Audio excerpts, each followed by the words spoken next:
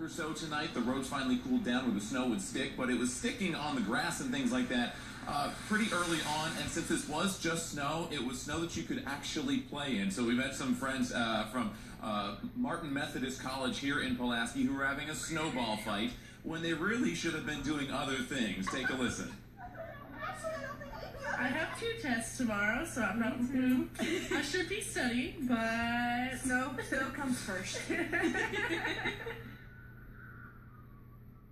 So take a look. They are still out here and they have grown by quite a bit, and it's enough snow to be sledding in. The goal is to then make it down to the wall where we are.